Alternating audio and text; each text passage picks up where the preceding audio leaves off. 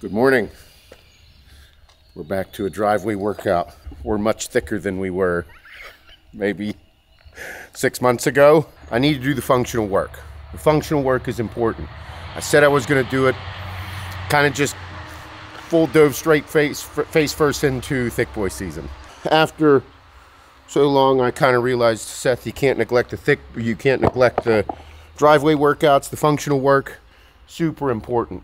Uh, so here we are this morning. We had to shoot some content for the new AAR drop we have coming up with the new pump cover, the new athletic training shorts. Again, fellas, if you don't know, like a great teaser dick pic happens in the compression shorts. I'm not going to show you mine, but nice it's a good look. That's all I'm saying. I have gained probably about, I was 222 and a half uh, two days ago, first thing in the morning. So I've gained, you know, about a good solid 10 to 12 pounds over the past eight weeks. Um, I like being big. I'm much stronger. However, uh, I can't neglect the functional work and the weather's starting to change a little bit. It's getting a little warmer out, and I'm like, man, I got to stay in. I got to stay in shape. So back to keeping it simple. And we are just getting ready to launch the HWMF Transformation Challenge, so get your asses in shape. We're doing a six weeks six week challenge. It ends right before Memorial Day weekend, so the goal is to get everybody in shape by June 1st. That way you can take your shirt off for the summer and you're good. Six weeks to getting in shape. Functional work has done so much for me in my life. Getting back to it. So this morning, we're gonna do five work rounds. I'm gonna do one warm up, but five work rounds where I'm gonna go up the driveway. I'm gonna do 25 push-ups in one round up the driveway, 25 push-ups, 25 sit-ups, 10 rows, and then uh, I'll probably do a 30 second plank.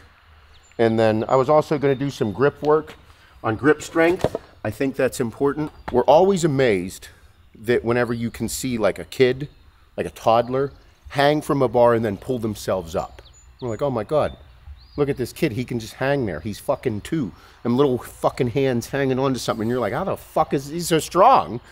And then when you see like a 70 year old fucking do a pull up, everybody's like completely blown away and amazed that the 70 year old could just do a chin up for a 60. And you're like, holy fuck, that old guy's jacked. Like, uh, I think it's important to work on some of those functional exercises and even just grabbing onto the pull up bar and hanging there for 60 seconds.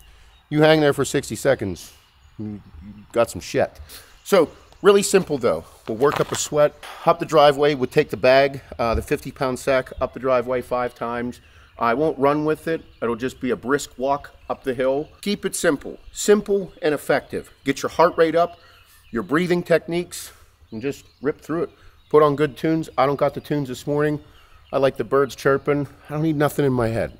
Fucking mayhem in my life pretty much every day, and this kind of just lets it go. So I'm just going to soak it up. Do a good job.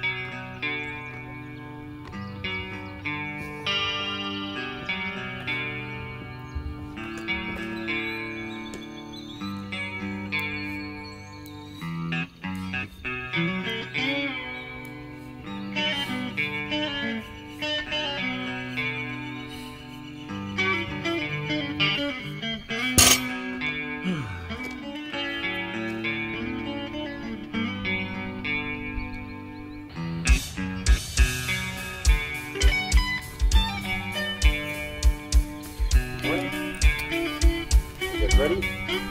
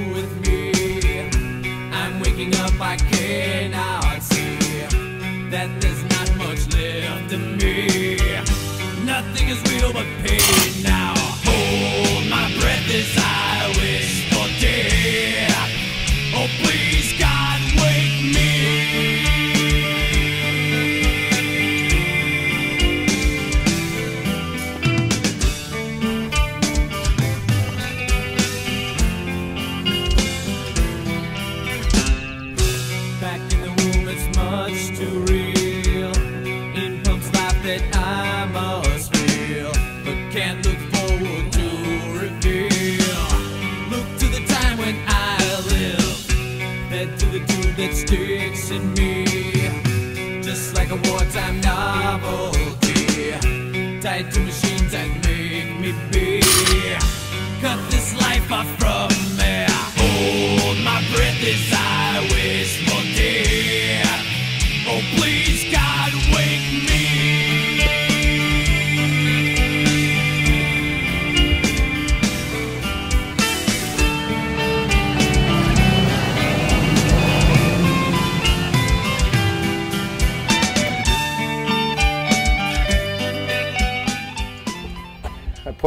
extra weight. I feel it. This is fun though. I like this. My 10 year old daughter, Emmy, she just turned 10. Big gymnastics. Everybody knows that. Uh, if you don't, Emmy is a very good gymnast. She's a level seven. She just won states. Hannah and I, we're a typical couple, parents, love our kids, but you know, we always, we, we, do a great job together, but we still have our challenges whenever it comes to raising your kids. We were talking about how Emmy leveling up in gymnastics and the different things going through, and uh, I was like, man, you know, just uh, you know, push her, and you know, she needs to work harder. She's like, Seth, Emmy doesn't quite understand like she's a child. She doesn't quite understand like the hard work aspect because Emmy is very naive and innocent and sweet, but she's just insanely talented and driven. She loves gymnastics. I was like, you know, she should just work harder, you know, do this, do that, like hardworking motherfucker. And uh, Hannah was like, she doesn't understand that concept. She doesn't understand the value of hard work. She just knows that going in and doing gymnastics, something that she absolutely fucking loves, the more she does, the better she gets. She loves it. She loves to compete. She loves the pressure. It's fucking crazy. So the reason I'm telling this story is, is Hannah brought to the concept that it's actually what she loves to do. She likes gymnastics. She likes six hour long practice. She loves it. And then in my head, I'm like, oh my God. There are certain things in my life that I absolutely love that are like hard work. This, sweating, first thing in the morning on an empty stomach, that brutal workout, fucking nasty training sessions. 150s for fucking sets of eight and drop set to the fucking until you can't move anymore. Like crazy intense fucking training. I love it. I love fucking cutting grass. I like splitting wood. Like these are things that I love to do, but they're a lot of hard work. And in my life, I've termed myself the hardworking motherfucker because whatever it is I'm going to do, I'm just going to work really hard at it. But it kind of just dawned on me at that moment that that's exactly what we're all doing. We love this shit. We love working hard. We like strenuous activity. We like sweating. We like nasty workouts. We like wild, intense, hard shit. Because if we don't do it, we don't, we're not ourselves. We're off. We're dickheads. We're missing that aspect of life. We like that. We love it. And I'm like, holy fuck. That's what's so funny about being a meathead. We're still like children. Like Emmy, who doesn't even understand that a six, seven, eight hour long practice is absolutely brutal, but she's not looking at it like that. She's like, I love this shit so much that as the more I do it, the better I get, the better I feel. Which is exactly what we do. Because if I don't do my morning cardio, if I don't get a good sweat in, I'm not the best version of myself. And it's crazy that me being so insightful in life and terming myself the hardworking motherfucker, it's actually me just loving life. And watching Emmy do that, like, dude, that kid works her fucking ass off, but she doesn't even understand that. It's not, it doesn't click because she's a child. It's just what she loves to do. And I find it to be very cool that no matter how old I get or how insightful or thoughtful I am, there's still so much to learn and benefit from just experiencing life.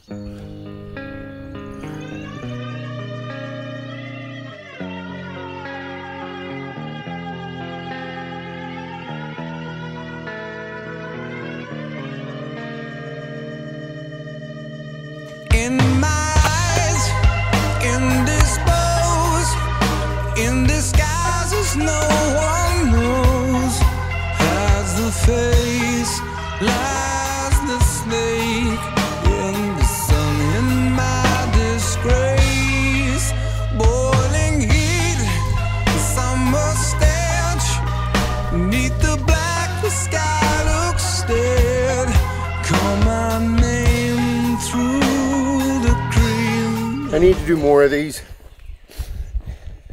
I think you could do both. I know that I feel better when I'm in shape, like really good shape, like good cardiovascular shape. And in the beginning, I was breathing heavier in the beginning of this workout than I am right now. So it's like, it's got to get the motor started. There's probably some type of fucking scientific term for that, but I like being in shape makes me feel good. And, you know, I didn't do anything too crazy today. This is simple, basic shit. It's like my chest workout incline dumbbell presses, incline flies, pec deck, dips, cable crossovers. Take the bag, carry it up the fucking hill. Do push ups, do sit ups, pull ups, do some rows. Really simple, basic things. Get the heart rate up. Um, Oh, that's good. It's good. The simple, basic shit works really fucking well. And the more that you get used to doing them, the more intense you can become with these. Like instead of just taking the 50 up, you can take the 100. Instead of just walking briskly up the hill with the 50, you can fucking get, you know, a little bit of a jog going. Work into it all. The simple, basic shit done very intensely it will fucking work. You don't got to get too crazy with everything. Okay, USA. It's on the list, dude. You got to watch it. Bloodsport. If you were ever wondering why an entire generation of men, like a 10 to 15 year spe- Right. span of men, like me and my age, like I'd probably say like 30, or- ah, 33 to 35. What year were you born? I was born in 84, so I'll be 40 this year. Up to like 45, 50. I'd probably say 35 to 50. All men, all men in there are very similar in certain thought processes of being a manly man. It's because of those fucking movies. Yeah. The 80s and Raised 90s. on them. Oh, bro, if you, dude, all of us. I mean, like, I can name off guys that I do not converse with very often. But, like, it's a movie connection with them because I see them posted. I'm like, you grew up in the same time period as me. David Bay, one of them. Dude, dude massive uh, movie buff. But I'm like, this is, we're all the same. Like, the reason I'm bringing it up, Bloodsport. If I, if a guy, 35 to 50, if I bring up Frank Dux, Bloodsport, Jean Claude Van Damme, 1989. Like, dude, it's the Kumite. Like, yeah, dude. Commando with Arnold Schwarzenegger Yeah. is literally the movie that I was watching whenever I was a chubby kid. My nickname was Chubbs growing up. I was uh, I was eating a bag of Snyder's barbecue potato chips and flicked through the channels, and Commando was there, and I saw him carrying the fucking log on his shoulder in the beginning of the movie. He had a fl- he had a tank top on, a white beater, with a flannel under his shoulder, and he was carrying a fucking log, looking jacked as fuck. And I'm like, I want to be him when I grow up. Bet you set that pretzel right down. Yep, them chips Started got them all. chips. That's literally what clicked in my head of being like, I want to look, I want to be like this dude. I mean, I may have went a little too far in my life, but dude, that movie was like, I was like, because at that time I was starting to go through puberty, and the girls in the neighborhood that all uh, everyone hung out together, like my nickname was Chubs, like that's what everybody called me. So then I started, the girls started calling me Chubs, and I was like fuck you no. I was like, not gonna happen. Was Arnold a, a guy back then that girls wanted to be with, or not really? I mean, in my head, I thought so. You're like muscles equals. Yeah, muscles equal pussy. What turned out was muscles equal more dudes looking at you being like, how'd you get so jacked, bro? Like, DMs, it's bro. it's still the same shit today. like, like You're just like, man, look how good, look how look how good he looks in the most non-gay way. But like, dude, for example, Like, yeah, bro, your dick looks good in the AAR so fucking shorts. yeah, for her, but then also I'm at the same time like there's probably some homosexual underlying tone with the 80s and 90s of all of us, like in all the dude movies. Black hole sun, won't you come? Wash away the rain. Black hole sun, won't you come? Won't you come? Won't you come?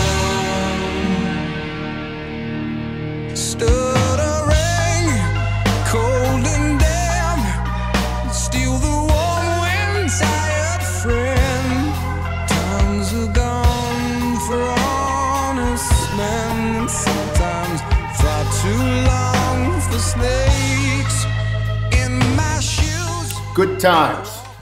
Okay, so video wouldn't be complete without me selling something, right? As some of you like to fuck with me in the comments. Yeah, he's doing this because he wants to sell shit. Yeah, of course. We have a company, we have a ton of supporters, and I love all the support. However, we have we do have an AAR release coming up. That's our apparel brand, All American Roughneck. Um, April 18th. Now, we have a lot of really cool shit for sale. The pump cover, the Thick Boy U, jam jacked and juicy plush, plush hoodies, all beautiful. Really nice. We have a fucking windbreaker rain, rain, rain jacket that is sick. but the reason I'm bringing this up is um, I talk a massive game about being a hardworking motherfucker, about being a good motherfucker, and doing good in your community. And you don't have problems, just more work to do. Now, whenever I say you don't have problems, just more work to do, Monday's not a problem. Um, you know, Sunday scaries and going to your job and making money, uh, those, that's not a real problem, dude. That's just work. We all got to work. A problem is whenever someone comes down with a debilitating disease. Um, you know, kids that have come out with cancer at three, four, five, six, seven years old, they die before they're supposed to die. You're not supposed to die when you're young. Like that, that's a fucking problem. Whenever you have a problem, like shit happens in life, and that's when you know. Like that's whenever that problem that arose in your life. Mondays, you wish Mondays was your problem. You wish you could feel Sunday scaries again and not the pressure and the intensity of that problem at hand of someone in your life passing early or, or, or a serious issue coming about. Now, I'm bringing that up because, uh, you know, if you guys don't know, back in, I grew up in a Catholic school. I went to Catholic school growing up. I lost my faith because some crazy shit happened at that place that uh, I just kind of drove me away from it. Now, I've always been a decent human being. However, just recently, whenever I went to Idaho for my last hunt, the whole entire experience out there just had came over a, a whole different emotion in life of being like, man, I, I, I have everything that a grown man could ever dream of. I'm very grateful for it. I'm thankful for it. And Zach, the guy that Zach Owens, the guy that I go hunting with every year, he's an incredibly faithful person. Now, Zach, he's crazy. He's a wild man, but he is an incredibly good human being. And whenever I came home, I just had this, I had a newfound faith and started reading the Bible and, and doing more research about everything and just things that could help bring light to my life. And I came across a uh, came across a verse,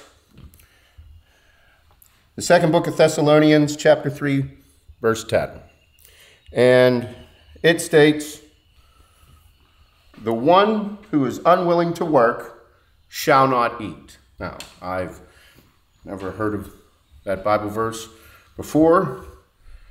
It never clicked with me, but I found it kind of uh, ironic and unique that that's something that I preach in my life. That's something that you don't have problems, just more work to do. It's just work. If you can work, you should work. If you don't, you don't get to reap the benefits of work. You can't be an entitled individual. The reason I'm showing you this shirt is, is because this is going to be our charity shirt for this release. All of the profits from this t-shirt will be going to the My 360 project. The My 360 project is a uh, is mission work that Zach Owens is a massive part of. Um, what they do is they go down into uh, very poor parts of the entire world, uh, Mexico, Africa, all over the world, and they build shoes for children that don't have shoes. Uh, it is something that I've donated to Zach uh, in years past in private of just saying, yeah, I, I give him I send money to the charity, and then he goes and does the mission work down in Mexico and then over in Africa. Uh, and when we were out hunting in Idaho in September, he was talking a lot about it after, you know, we were discussing the hunt and how awesome it was. And he's like, I want you to go. You're going to go. I want you, if we're going to keep doing these hunts and, and this type of experience is going to change your life. He says, I think it'd be good for you to experience it all. And I said, yeah, let's do it. With who we are as a brand and as much shit as I talk about all the things I do, and I put my money where my mouth is by donating money to charities and doing all those things. But it's time for more than that.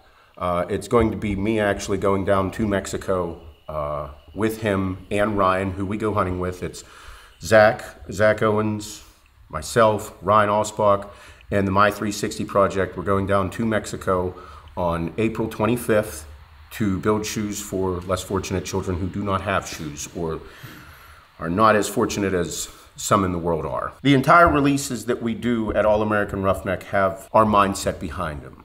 Uh, being good motherfuckers, living with passion. You don't have problems, just more work to do.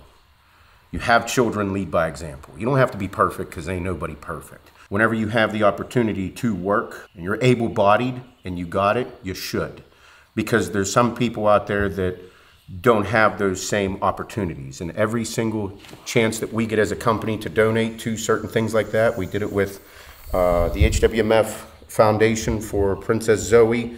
You guys helped us raise over $100,000 for that young girl and her family. Uh, Rescue 22 for Kelsey. This is something that I'm pretty passionate about. I'm going to become a pretty big part of. So if you don't buy anything else, buy the shirt, wear it with pride. Uh, some people are a little indifferent about the Bible or faith. Um, you don't have to fully consume yourself into it to become a Bible thumping uh, person. This is something that there is a whole lot of people behind it. Don't be too proud to do to wear something like this, or kind of uh, uh, uh, just start to experience it. Read the Bible, feel it. Look for things to help you become a better person because rather than expecting, oh, you have to immerse yourself in every single bit of it, you can't just dive headfirst into something and expect it to overtake you. No, little by little was okay. Feeling it, understanding it, listening. You know, you, you, you can't just understand the whole entire world or the whole entire book or the whole entire anything within one day or one week. It's a lifetime. And I, I personally am a very fortunate man. I have everything a, a grown man could ever dream of. I have a beautiful family that loves me. I have uh, multiple companies that, that make lots of money. I have 40 plus employees. I have something that, in every aspect of my life, people would dream of having a family that loves you, three happy, healthy, beautiful children, a woman that is infatuated with me, loves me, and makes me feel like a wonderful person. And I do the same for her by supporting her and loving her.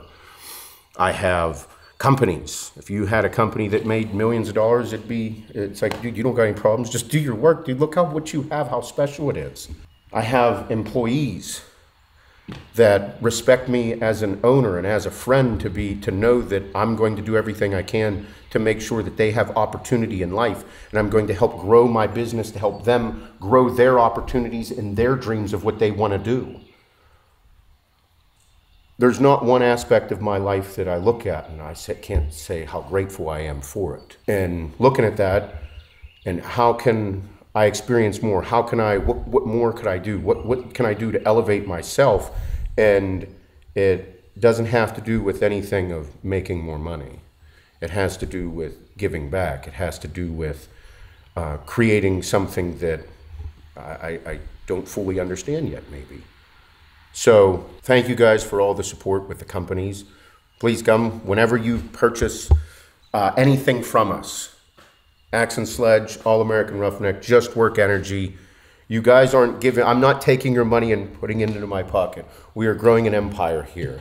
We have a ton of phenomenal people. Nothing would make me more proud in my life than to create something within the community that people are proud to be a part of and grow it bigger. Instead of having 43 employees, have 86. double the company, grow in size, create opportunity for people. And all of the stores that purchase from us, that carry Axe and Sledge, all of you that are buying this apparel, that are going into stores and buying Axe and Sledge in a store, you're not only supporting Axe and Sledge, you're also supporting the store itself. That fucking store in your community that is there, that is buying real estate, having a presence, employing people. Like, it's a massive deal. So, uh, I'm grateful for it all. And I realize that, uh, you know, like I said earlier, the, the work, it's work. It is a lot of work, but it's fun. Like, I don't know what else I'd be doing. I enjoy it. Is there stress involved? Sure, there's stress involved. But I tell you what, the stress that, that this is, um, I get to do it with young Aidan, Bob, Shane, Gino. I get to do it with people that also want to do really cool shit. And I'm not worried about like some of the things and the previous horrible experiences I had in my life with, with drugs and ad addiction and really intense fucked up shit. So, April 18th, this shirt goes live. 100% of the pro, 100% of the profits goes towards the My 360 project. The link is in the bio. If you just want to, if you don't want to buy anything and you just want to go donate two bucks, three bucks, five bucks, ten bucks, fifty bucks, twenty bucks. You want to make a big donation, make a big donation. Every bit counts for something like this. So this year, uh, we're going to be going to, like I said, April 25th, we leave for Mexico. Uh, we'll be there for four days. Me, Zach, Ryan, uh, the My 360 project. And then later in the year, Zach is going to be going to Uganda um, to do it over there as well. So very intense, very grateful to be a part of it. Thank you guys. Keep doing a good job. Don't do anything dumb. And make sure you let your woman know that you love her. Have a good one.